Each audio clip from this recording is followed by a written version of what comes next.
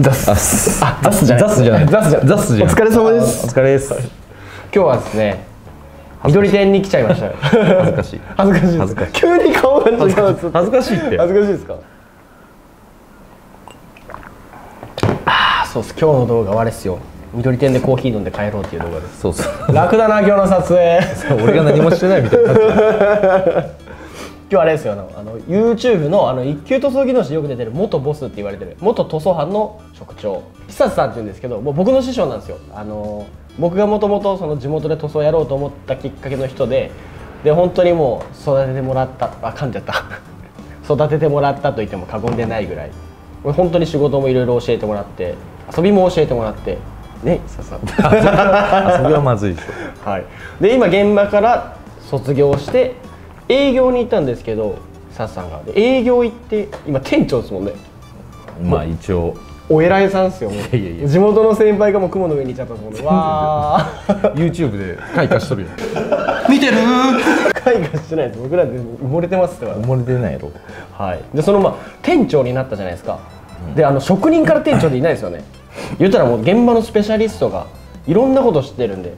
それから例えばお客さんにつながるとかお客さんのいい情報につながるとか、あとはもう会社側的にもいい情報がやっぱりあるじゃないですか、先生上手だね喋りが。喋りが上手。ありがとうございます。そういう情報聞き出せたらなと思ってます、はい。でもだらっと行くんで今回ちょっと。あの僕もなんかやっぱ先輩なんで緊張するんであんまり県内にあるとぶん殴られちゃうんで。手が届かんギリギリに設置してこここまでそうそうここまで出てここまでなんで、はい、まずちょっと僕が気になるのは業務が全然違うじゃないですか、業務違うね、はい、でもその職人ってやっぱ肉体的に偉いじゃないですか。うん。肉体的な疲労があってやっぱ限界ってのはやっぱ来ると思うんですよね、うん。まあ、でも今第一線でやってる人でもまあ年配の方とかいますけどやっぱり偉くなったって言って腰が痛いなの、特に足場の職人とかはやっぱり30超えてくるとやっぱ腰やられてる人が多いよね。でやっぱりヘルニア。やったりとか。椎間板ヘルニアが5箇所ある。んですよ5箇所そうですよね、まあ、そういったあの現場寿命としてはやっぱり塗装職人って長いかなってそうですよね。あの総合的に見ても、はい。うん、いやでやっぱりね、まあ、うち、まあ、自分含め寺西の元親方、はい。ねあね。お師匠さんは、はい。ね、70? 72とかいくつまでは？老期からこれ来ちゃうかもしれんけど。はもう足場も組んでたからね一緒に。多分ふわーと思っておわだだだだってなってましたよね70何歳まで現場出てましたけどただやっぱりもう若いもんに負けるって言ったら失礼かもしれないですけど、うん。まあやっぱ勢いはないですよね、まあまあ。安定はしてますけどただまあ一生やるにはやっぱ相当覚悟がいる職業だと思うんですよ。やっぱ職人って。朝さ早いし寒いし暑いし。もう見逃さんかったですね。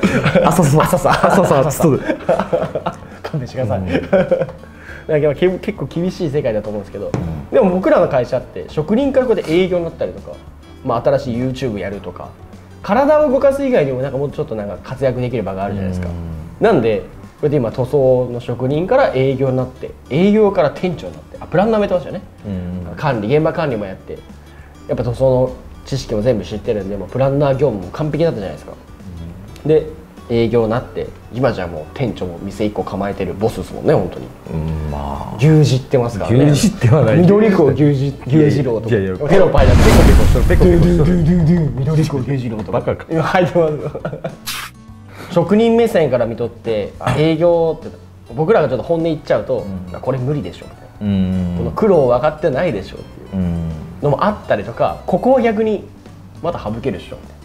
あまあ、僕の中ですよ。僕の中でこれ悪口じゃないですけど一番シビアな金額とか一番分かってるなっていう現場のあるいは采配を。あーその結局現場何人区でできるでしょっていうはい。話だよね、そのギリギリをついてくるのがやっぱ久さん。なんですねやっぱりなんでそのでも逆にその手間食うなーってこれ誰々さんだったらこんだけしか出んなでも久さんに言うとやっぱあそれぐらいもらうの合わんよねみたいうん。な話をやっぱ現場を知ってるんで。だから適正な単価が出ますよね。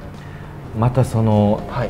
難しいと思う。その逆にこっちサイドでやっててその、職人の時はまあ結局職人でずっとねやるんだけど、そのなんだろうその見積もり例えば平テレテレの壁はい。が例えばね平米いくらって出てて同じ材質でも ALC でもブロック調とかそういうのがあった時に平米数は一緒だけど同じじゃないでしょって。そうですね。そうなった時の職人さんの手間だったりとか、い。本当に一手間二手間変わっちゃうしローラーでずらっていけちゃうところがこうブロック調だから全部はけ取らないとって。手間になりますね。の溝が深くて。はい。そういうところが変わるもんね。使う塗料もちょっと増えますしねやっぱり。増える。材料も増える。柄によって変わるんですよね、やっぱそこで金額もやっぱ多少変わりますよね。またそういうのもで変わってくるねやっぱり。やっぱちょっとブロックだと高くなりがち、うん。ALC でツルツルだと安くできる、まあそうお値打ちなポイントですよね。うん。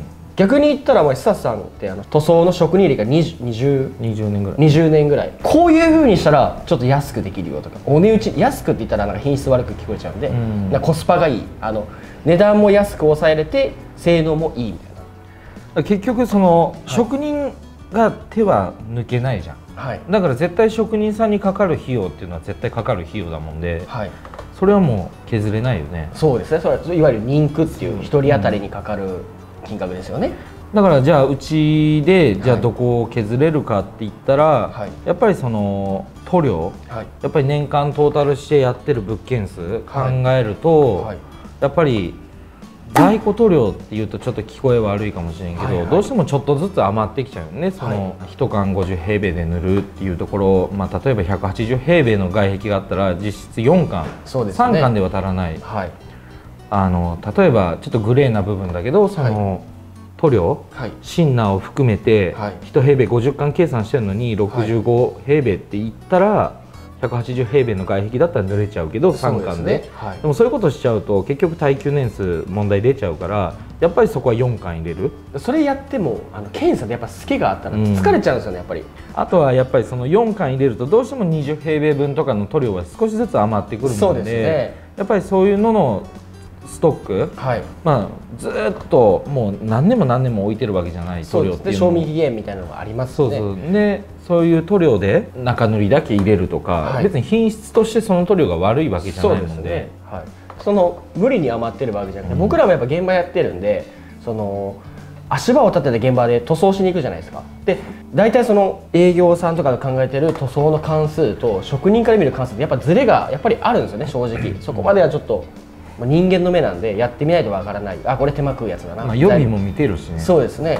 でっていう場合にはやっぱ僕らも注文するんですけどあの入ってくるのが今日入れたら明日来るっていうわけじゃないですよね、3日後に来ますようなもんでもう見こ見越して、ん。例えばもう後期っていうのがある程度決まってるんで足場がいつからいつまで。だからお客さん的にはここに解体してもらいたい。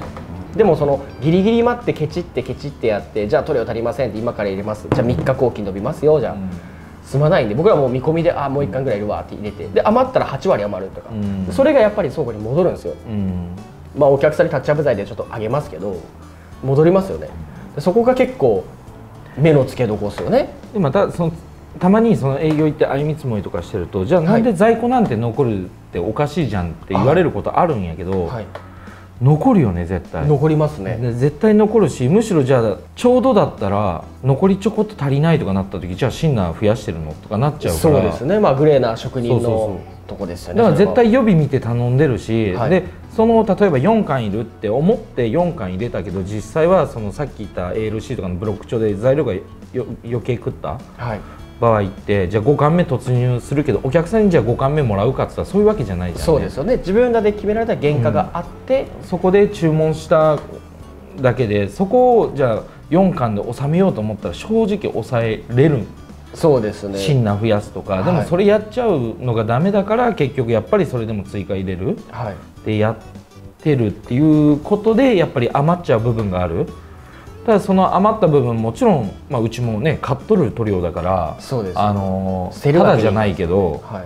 その次どこかそういう塗料でもいいよって色がちょっと決めれんとか、はい。その代わりある材料で朝食してある程度近づけることはできる。はい。だからそういったのであとは、ね、外壁塗るってことだったらやっぱりその新刊で入れてるよりかは比較的にちょっと安くできるのかなっていう、まあ、正確な数値はいくらとは言えないけどその外壁の平米数にもよるもんで。それでもあれですよね。決めた時に提提案してるんですか？で、まあ、だからやっぱりその金額で悩んでる方がいたら例えば在庫塗料っていうのがあって、そうだね。うん。まあこの辺の色ならできますよみたいな、うん。だいたいこの辺だったら多分作れると思いますって言って。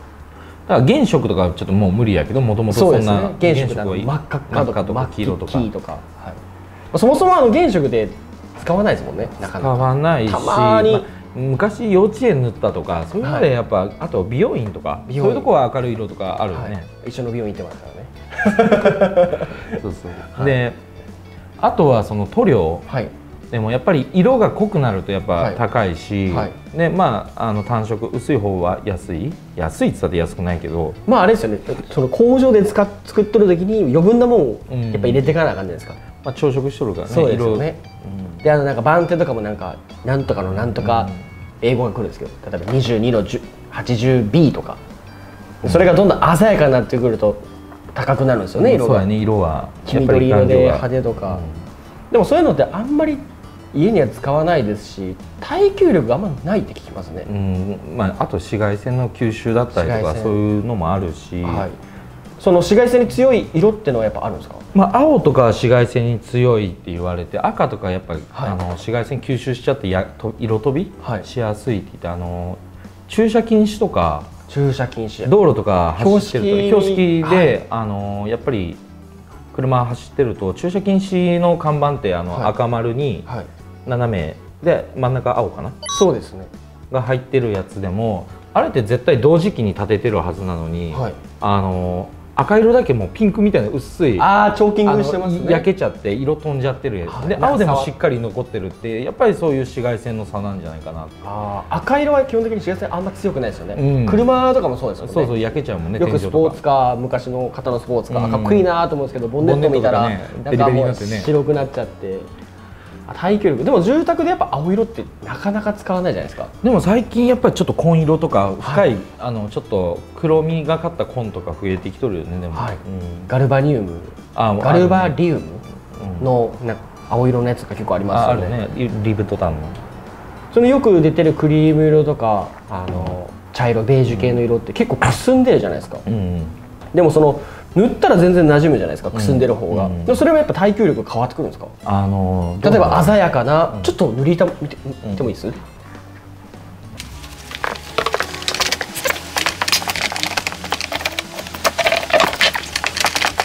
遅っ。迷うんです。迷うんです。何でもいいですか？でもいいんじゃない？な何？例えばこういうちょっと塗り板。これはまずさすがにないと思うんですけど、こういう色もあるわけじゃないですか、うん。こういう。ちなみに 0760T T T ですよ。T か。T でこういう色は結構あの、ね。日本調にもありますよね、標準色ではい。結構多いかな。なんでこういうのも例えば強さは変わるんですか？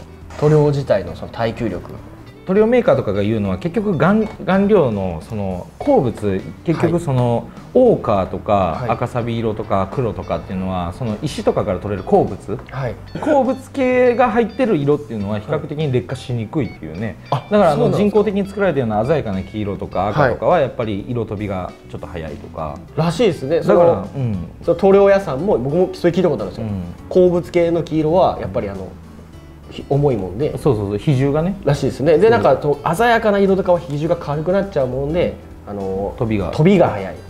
あのオーカーとかさあの、はい。最近やらんけどあの昔俺らあの線路？線路。とかの虎柄とか塗りに行ったりしとったよね夜、はい。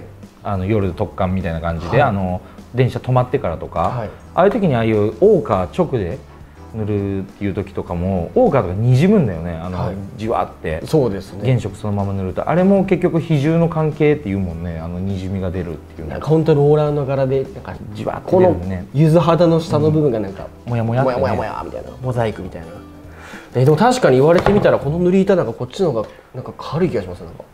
絶対違うねあとはその見栄えもあるよね。そのこういう淡い色とかの方がやっぱりそのチョーキング、はい。絶対経年劣化でチョーキングって起きるけど、はい。起きないものなんて多分材料なんか絶対ないと思うんで。ないですよね、まあ地球上に存在しとったらもうまず無理ですもんね。結局その紫外線浴びて劣化した表面の顔料崩れみたいな感じらしいもんで、はい。チョーキングが、はい。でまあ雨当たるところは流れるもんであんまり、まあそうです。んなに比較的にチョーキングはい。手に激しくつかんけどやっぱりムラムラに出るじゃんね。そうそう。僕のお母さんもあのもう多分60近いんですけどあの朝塗った化粧まあその材料にもよるけどその、やっぱりうちよく出る塗料、はい。っていうのはやっぱり本当に年間考えたらもう何百件やってるからそうですよね。そんだけの仕入れ量。だからその販売店とのねあのだって 10, 10缶入れる会社とはい。200缶、300缶入れる会社と毎月1本,、ねうん、はい。1本あたりが一緒なわけがないからそうですよね。んだけやっぱりね交渉してそういったこともできてるしだからやっぱりあのこまあ個人のこと悪く言っちゃあかんないけど個人の塗装会社さんが仕入れてる量とうちでは絶対もう比較できないよね。そのあそう比較にならないぐらい塗料入れてるからやっぱり1缶あたりの塗料代は安くうん、これがまたあの件数関数が増えれば増えるほどその幅が大きくなって、うん。お客さんに提提示できる金額も多分下がってるわけですね。だからうちでも抱えとってもやっぱり特殊な塗料はまあそのまま高いよね。そういうコンクリート打ちっぱなしの工法とか、はい。それを例えばじゃあ安く仕入れて久さんはあの横流しアマゾンでしてるわけですね。バカか。アマゾンであのアマゾンであの塗料買える理由というのを久さんがあの横流ししてるから。ですお前ぶっ飛ばすね あとはちょっと僕気になるんですけど塗装の依頼するシーズンで値段って変わったりするんですか？そうあのまあシーズンっていうかそのやっぱりうちだとお正月の、はい。まあ本当にうちの都合なんだけど、そのやっぱり年末綺麗に建物を塗って終わって、はい。新年迎えたい、はい。まあまあ普通だと思うんだけそど、ね。やっぱりそのうちその職人が結局自社の職人はい。でやっぱり自社じゃなくて例えば他社に振ってるとかあの外注に振ってるとかだったら、まあ、正月明け塗装の職人さん、まあ、足場新年明けて足場組みます、はい。シーリングします塗装はい。の職人さんっていうと、まあ、だいぶ5日も以下空いちゃうんねそうですね。そこからスタートだとやっぱり1週間ぐらい空いちゃうけど、まあ、外注さんだったらそんなことごめん今仕事ないからねで済んじゃうけど。そうですね。お構いなしなとこありますだけど自社で抱えてる以上やっぱり塗装の職人さんも正月飽きたらスタートしたいでもそれ足場組からスタートして待ってたらやっぱり5日も以下空いちゃうから。そうですね。大体あの世間でいう休みが1月5日まで休みで、6日からやるとしても足場で1日シーリングで戦場に1回だけ行ってシーリング。でシーリングが2日ぐらいか2日っかっててことはもう9日とか10日1月の9日から10日から働くことになっちゃうんで、そう。そだからの間飯食えないですもんね僕ら、うん。でもやっぱりそのうち結局従業員はい。職人も自社だから結局働いてなくても働いてても給料発生するじゃんね。そうですね。だからやっぱりうちとしてはやっぱり遊ばせない。ためにもやっぱり仕事を詰めたい。はい。だったらじゃあ正月新年明けて塗装の職人がスタートどうしたらできるかっていうと年末に足場組んでシーリングまで終わらせる、新年から塗装の職人がスタートできる。でもこれってやっぱりお客さん理解が。足場がはい正月かかっちゃうからやっぱり親戚の人とかもうちに見えるからって、はい。ね、ちょっとお願いしてみてはい。いいですよっていう人に関してはやっぱりちょっとだけでも、はい。あの還元できるようにとは思っとるね。やっぱり結局こっち都合で合わせてもらうってことやもんで。そうですよね。自社で抱えてるメリットってすごいいっぱいあるんだけど自社職人っていうメリットはもう本当にいっぱいある、でもそういった正月またぎとかだけやっぱりデメリットというか。そうですね。やっぱりその手が止まっちゃう期間があると、やっぱりその分ロスが出ちゃうんで、結構まあ2件に1件ぐらいはそういう話してあいいですよってその別に施工時期そんなに気にしてないですよって言ってもらえるお客さんも多いもんで、はい。本当に助かっとるかなって。そうですよね、逆に言ったら早いもん順かもしれないですね。そこでうん。あのお値打ちになるってことが分かって年またぎ埋めるってことはあの人数限られてる件数がまあお値打ちになるって言ってそんなバーンとすごい金額が安くなるわけじゃないから、ね。本当に今端数切るとかそれぐらいの話だけど、はい。とかまあサービスで、あサービス。のもう1個塗りますよとか、うんまあそれだけでもやっぱ手抜くわけじゃないんでねやっぱり、うんはい。そうまあ結構サービスっていう言葉で勘違いされがちなんだけど別にサービスだからって手抜きはしないから絶対、はい。うん、だってね寺西も職人だから例えばサービスでサビサビのものを塗りますってサビがすごいものを塗りますってサビ止め入れないことないでしょ。そうですね。だってそれ来年ペリペリめくれたら、また僕動かなかった自分のプライイドにも傷つくでしょ。そうですね。でまたそのチャットっていうチャットワークっていうその、会社内の連絡ツールがあってそこにもバチンって書かれますからね「あの何々手不具合発生」とか、誰が入っとった?」みたいなそういうやり取りがあるんで、そうするとやっぱ信頼されないですしねやっぱりお客さんから。お盆もそうですかじゃあ？お盆はまあそんなにだけど比較的にあとはそのどうしても仕事が薄くなる時期どうしてもはい梅雨時避けたか避けたいもんねやっぱり。そうですね。で雨多いし。梅雨時でちょっと勘違いされたくないんですけどなんか、し湿度が多いからってまあ塗装できないことはないですよね、本当に。それでもう性能がめちゃめちゃくちゃ悪くなる。まあそれはもう現場で判断してるんでなんでその夏場塗ったよりは悪いでしょうって、まあ、そんなに正直誤差ないですよねまあないねないですよね。乾燥時間は置くし。そうです。ただまあ足場がかかってる状態、まあ、後期は長くなりがちですよね、まあ、すうん、やっぱり天気雨降れば雨降りはもうそもそも仕事止めちゃうから。そうですね、まあ、カッパーで傘差しまで塗るわけにいかんですもんね、うん。業者選びって結構大変だと思うんですよ。うん。例えばその Google で多分調べるじゃないですか今って、うんか知り合いがいるとか。で Google で調べたら愛知塗装でもうそのランキングがあると思うんですけど、そういうのでみんな見ていくと思うんですけど中身までは分からんじゃないですか。うん。じゃなくて、まあ、中身、まあ、正直分からんと思うんですけどこういうとこ見た方がいいよとか。どうせ選ぶんだったらう。ん。例えば職人目線から、まあ、例えば僕だったらあの実際にその入っとる職人さんの現場ちょっとまあ1日2日ちょっと見に行くとか、うん。まあ、それもできるって言うんで絶対、うん。例えばあの見学していいですか?」って言って、まあ、足場の外から見とるだけでも違うじゃないですか。タバコをプカプカ吸ってポイって捨てるような職人とか、朝8時って言っとんのに9時から来るとか、なんかよれた服で来るとか。そういうのも全然違うじゃないですか。で俺もそのお客さんでちょっと近くの現場見たいってどっか動いてる現場ありますかって言って一宮とかだとあのレジェンド。はい。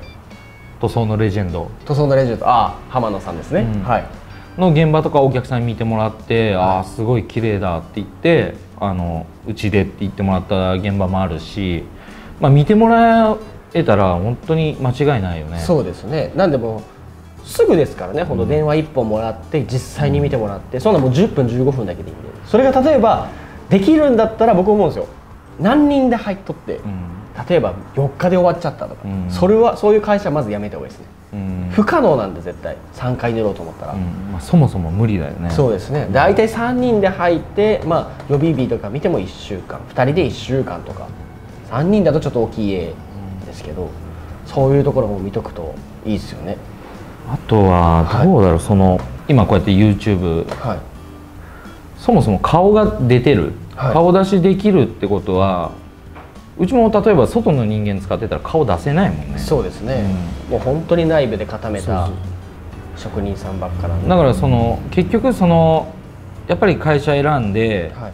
あの親方はすごい親方だった。でも子方がやっぱりどうしようもない小僧だったとかもあるじゃんありやっぱり正直、はい。でもう汚い仕事するしってそこまで見れないじゃん。はい。っていうのもあるから。でうちって結局そのやっぱりそのどこの店舗の職人も同じレベル同じ以上のレベルになるようにそんな、ね、エリアであの職人あの近辺の職人の手が悪いとかそういうのが出ないようにやっぱりそういう会議店舗会議店舗職人会議やってるからやっぱりそういうこういうとこ気をつけようよああいうのしようよとか、はい。あとまあアンケート。アンケート。アンケートでやっっぱりあのちょっとやっぱり人間やることだもんでちょっとしたミスとかもあって、はい。その塗り残しがありましたとかも、まあ、正直ゼロじゃないけどある。そうですね。そういうのをやっぱりみんなで見てはい。あ気をつけようねっていう話し合いだったりとかあとはその自社の足場シーリング防水塗装はい。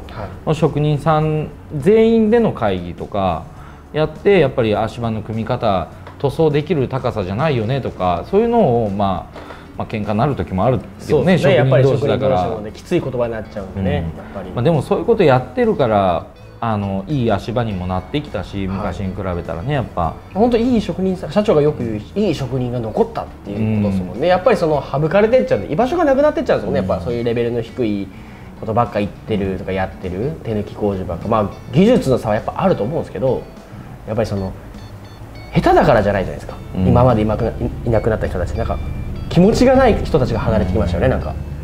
だから職人やってて職長レベルはもうやっぱ職ね各職長たちは一生懸命話し合って決めてるし俺も本当にこの会社入って足場の職人の足場、まあ、あのトシ君。はい。名前出していいんかな？トシ君、はい。トシ君の足場俺大好きなんだね、はい。その本当に歩きやすい。はい。で現場入ったらここ誰が組んだか分かるぐらいあここトシ君の現場だよね。ってそうですね。でやっぱりその高さってあの塗装の職人って一番じ上の段あの、まあ、下から数えていくと3スパン目ぐらいとかって一番作業が多い。軒天、はい。ハフトイ外壁、はい。でも中層はまあ外壁ぐらい。そうですね。縦問いがちょこっとで一番下でまあ外壁と水切りとか。ねやっぱ一番高いところで一番作業多い時に下から組んでって中腰で作業するっていうのは正直辛いね。辛いですね。それをやっぱりあの軒ベースから1800下がりで足場組んでるから立って塗りやすい位置でアンチが入ってる、はい。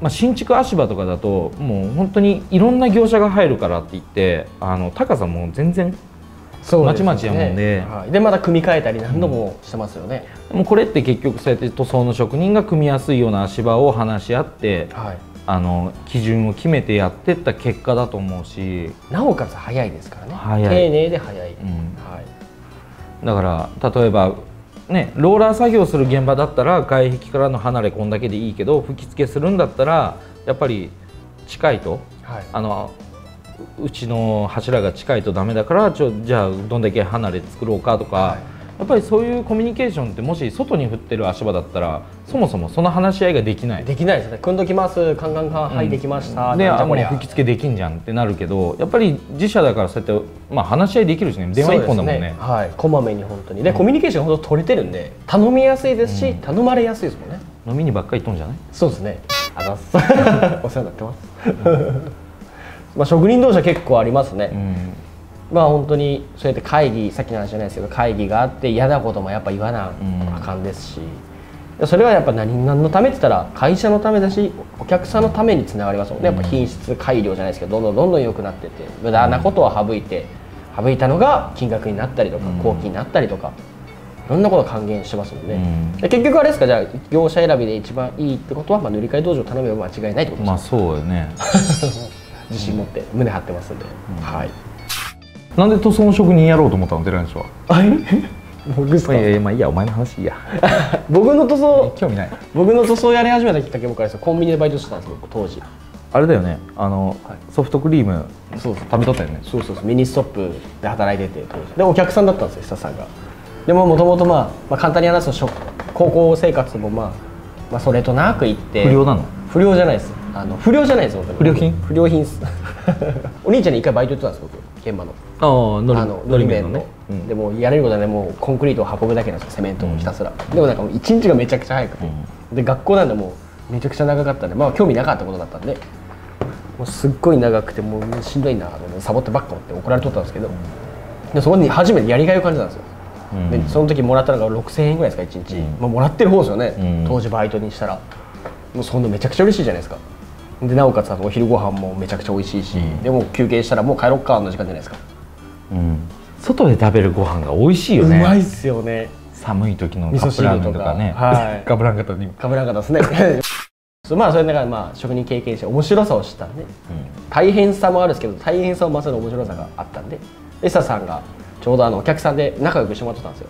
もう本当にもうだだこねでもう塗装やりたい塗装やりたいって言ったら先生が反対して。あなんで高校でお前職人やるんだもったいないだろみたいなうん。あの現場監督とか、まあ、建築家だったんで現場監督とかえなんか、まあ、営業とかあとなんか JR かどっち方面とかもやったらいいじゃん。って、あのつてもあるしって先生が言ってくれたんですけど。俺も職人やりたいって思ってたんで。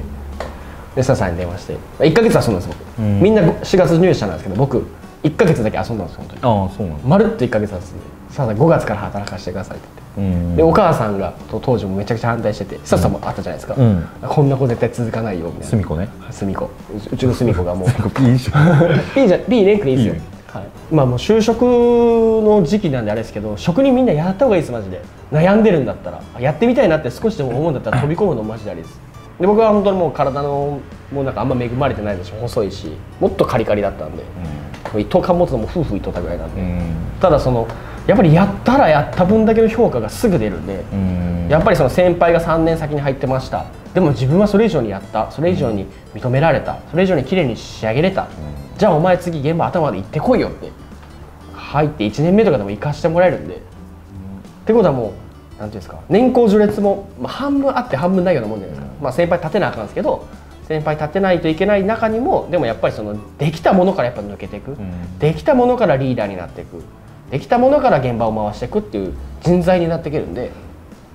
そういうことを思ったらまあ職人やった方がいいです。もう手に職つけたらやっぱり転職の時も、ん。あの同じ給料かもしくは同じ給料以上もらえるんで今職人離れって言ってまあ現場やってる子少ないと思うんですけど例えばその今の会社が居心地悪くてじゃあ次の会社行きますって言ったら、まあ、その分の給料、もうもっと来てよ来てよそれ以上に上げるからっていう、手に職があるとやっぱ専門職なんで次にもつながりやすいんで、まあ、そんな当時は考えてなかったですけど、ん。ただもう楽しい悔しいムカつく頑張る見返すそん本当その感情でやってたら今気づいたら YouTube やってました。すごいもんねでもねあのガツガツした感じがね。俺とか親方にでもさもう勝負しましょうよみたいな勢いだもんね。だって現場の時にスタッフさん怖かった怖かったじゃないもう相手でしたもんね生意気だなと思ったもん俺も敵でした僕の中でしいしと思って、はいまあ、ちょっとまあ深い話またこ今度また違う企画立てでちょっとスタッフさんでやっていけたらなと思ってるんで、えはいまあ、今決定しましたやらないスタッフさん出てくれますはいじゃあちょっと長くなりましたけどチャンネル登録といいですね。ぜひお願いします。であのツイッターとあのー何でしたっけ？あのおしゃれなやつ。映える。TikTok ばあ TikTok もありますからね。インスタ？インスタグラムもやってるんで。TikTok 始めたらしいね。じゃあ会社がっすよ。ああ、はい。あ寺西がじゃない。そうそうそう。だから僕もあの社長とかミッチーとか出てくる。まあスタッフさんもバンバン出てくる。出てこんでしょ。こうやりますからねスタッフさんじゃあまた見てね最近の可愛い若い子ってこうやってやるんですよこうやって。ハートでしょ？ハート。でスタッフさんの年代だとあのピースこうじゃないですか。やってないし。そうじゃないですか。絶対やってないし。僕の年代だとこうなんですよ。あ顎隠す。顎顎の裏ピースですよ、はい、きっしょ。きっしょとか言っちゃっそうそうこうじゃないですか。たやったことないでしょやってください。ちょっと一回だけいいですか？俺やだ。じゃあ絶対カットするんで。絶対カットする。やだ。じゃあ本当にカットするんです。いいやらやらないからの。変な汗かくでやめて。からの。やるか。変な汗かくからの。やらんし。やらんすか。変な汗かくやん。っていうこと？マジで使って。じゃあ絶対使うなよ。マジで使ってください